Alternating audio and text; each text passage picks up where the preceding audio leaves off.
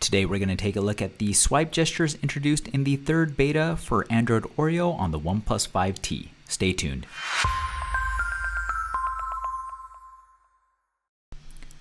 In order to enable the new swipe gestures, you will have to head into the button settings menu and hide the navigation bar.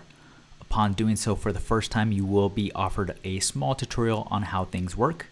Swiping up from the middle will take you back to the home screen swiping up from the bottom and holding it will bring up your multitasking window and swiping up from the bottom left or right hand side will take you back.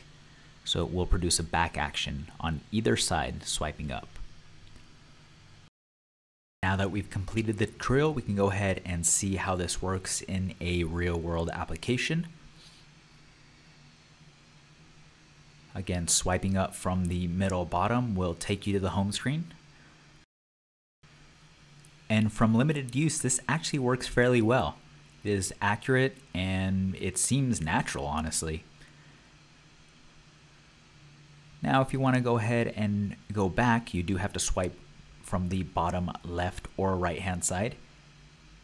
And as you can see, this also works fairly well. It is a little bit different than hitting the back button, but once you get used to it, it's actually fairly quick.